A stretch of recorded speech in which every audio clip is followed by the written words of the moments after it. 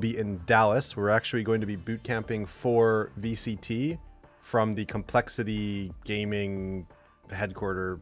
play the the Dallas whatever the GameStop whatever it's called. I'll figure I'll, I'll I don't want to be rude to them because it, it was nice of them to let us play there. Um, but